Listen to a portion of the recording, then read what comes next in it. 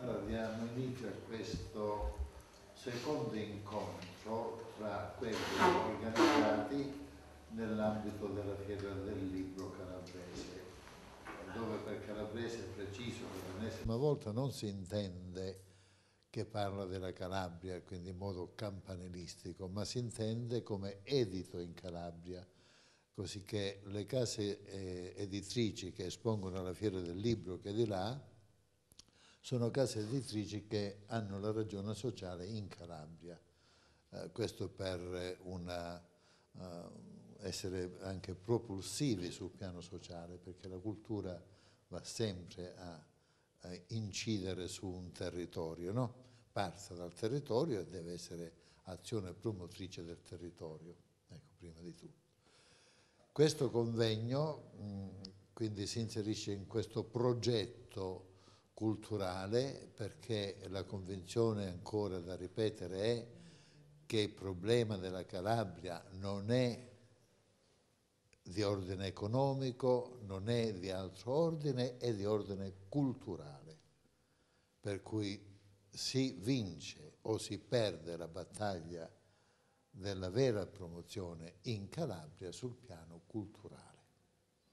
Ed è difficile operare nel piano culturale perché le risorse economiche non sono destinate alla promozione dell'uomo e quindi alla promozione culturale, ma ad altri scopi che eh, non oh, ottengono i risultati che si propongono anche in buona fede, qualche volta non sempre in buona fede, solo perché se non c'è l'antropos non c'è cultura che tenga, promozione che tenga. No?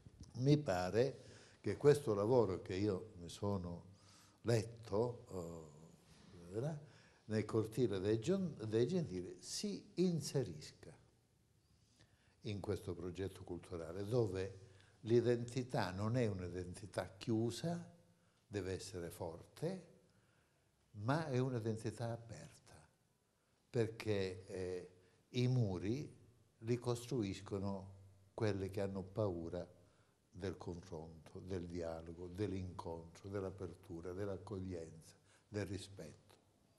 Non a caso la cortina di ferro non era stata innalzata dall'Occidente, no, ma era stata innalzata di chi aveva paura che fuggissero fuori dall'oppressione.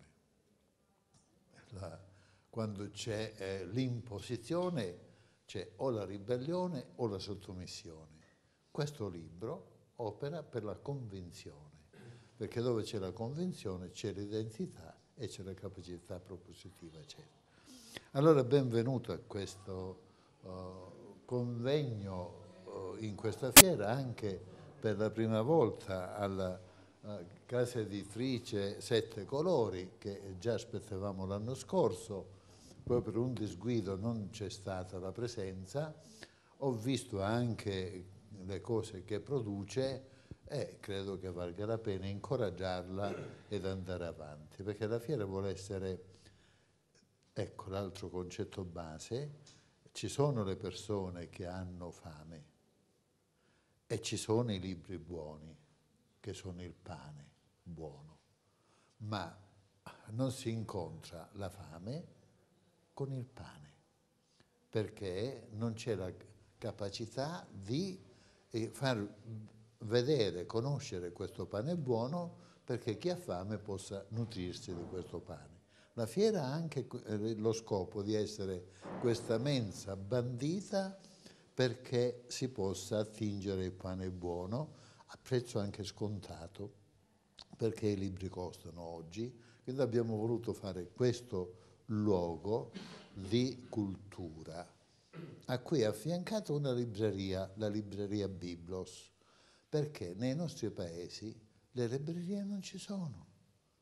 Ma dovrebbe essere normale che come c'è negozio per il pane, come c'è negozio per un'altra cosa, ci fosse anche la libreria, che è il pane dello spirito, quello che si va a attingere lì. Ecco. Quindi mi complimento allora con la casa editrice Sette Colori, mi complimento anche con il collega in duplice senso di sacerdote, confratello nel sacerdozio e di docente a livello universitario. Eh, gli dico che condivido eh, l'impostazione del libro perché essendo docente di filosofia teoretica questi problemi sono il mio pane quotidiano, il pane quotidiano del mio insegnamento. Auguri per tutto e buon lavoro.